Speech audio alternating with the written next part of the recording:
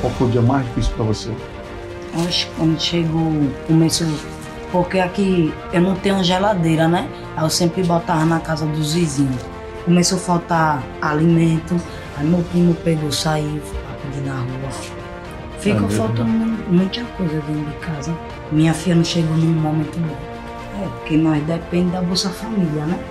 O que eu gosto é de dar conforto ao mocio e nesse tempo assim eu não, tô podendo, né? Unisocial trouxe aqui, ó, fralda, álcool em gel, perfume, tem biscoito, suco para as crianças. Vai ajudar? Muito, Hã? muito. Fica feliz com, esse com essa ajuda aí. Oxi, fico.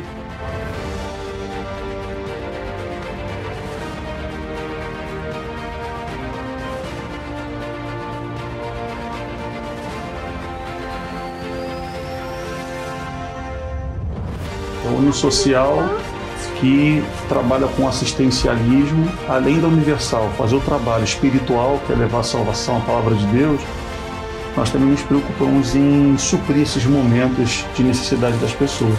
E mais do que isso, fazer com que essa palavra de Deus chegue até você, mas que você chegue até o altar também para agradecer a Deus.